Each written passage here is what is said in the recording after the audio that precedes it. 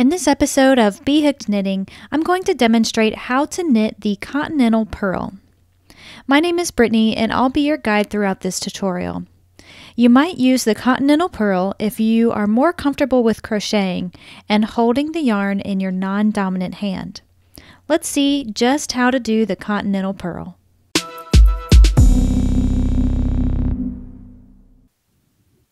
Many of us find that holding the yarn in our non dominant hand is the most comfortable when we're knitting, especially if we were crocheters before we became knitters. That's something that I started doing when I first learned to knit. I had already learned to crochet first, so I was always more comfortable holding the yarn in my non dominant hand. Working knit stitches this in this continental style is pretty simple. It's actually very straightforward. But what about purls?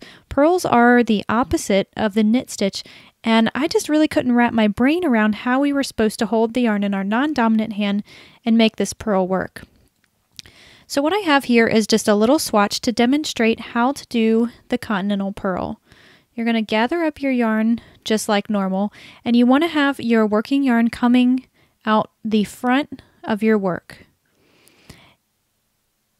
If you allow your yarn to drape over your index finger here, you want to free up your middle finger because you're going to use this to push down on the working yarn just like this. Before we can insert our needle into the stitch that we want to work, we have to pull the working yarn out of the way.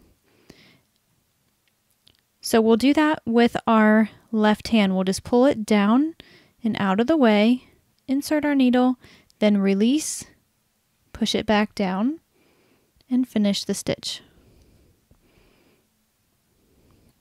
Now let's do that one more time. You'll push your working yarn out of the way in the stitch, wrap it around.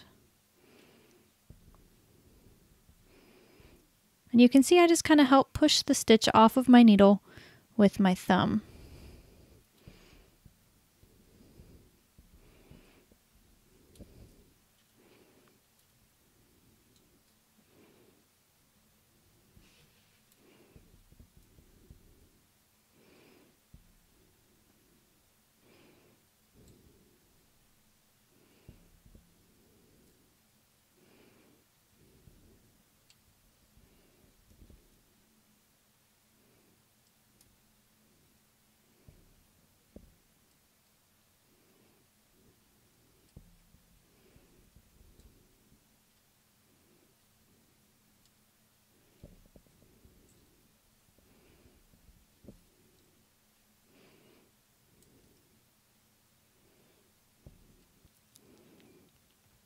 Now since my little swatch has a garter stitch border on each side, let's just quickly look at how to do the continental knit stitch. So I'm holding the yarn to the back of my work.